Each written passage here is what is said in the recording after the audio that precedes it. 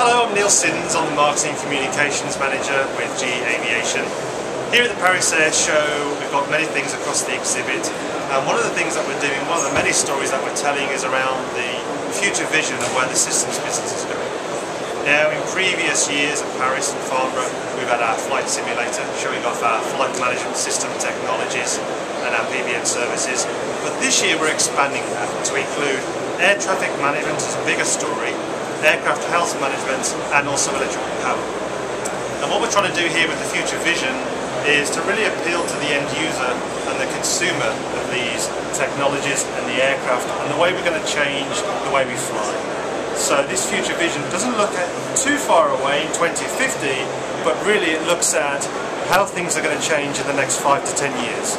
So the way we fly, the flight paths that we take, the types of technologies that we have on aircraft. Uh, we're looking at aircraft health to really change the way we can uh, proactively uh, make, keep maintenance uh, away from aircraft and, and, really change the way we depart and cancellations, uh, really get, make that a thing of the past. And electrical power, you know, we're all end users of electrical power on the aircraft, whether it's the air conditioning system or whether it's the, the anti-ice systems on the surfaces, uh, yeah, we're going to demand a lot of power in the future on an aircraft. And uh, we have a way of transmitting the power across the distribution of the aircraft, managing the supply and demand of, of power, and uh, reducing weight, reducing volume of our power systems. So, across all those three stories, uh, it's really great news for the end user, which is the consumer.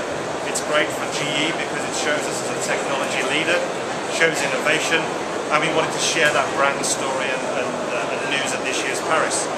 And uh, we have the future vision right here in the box.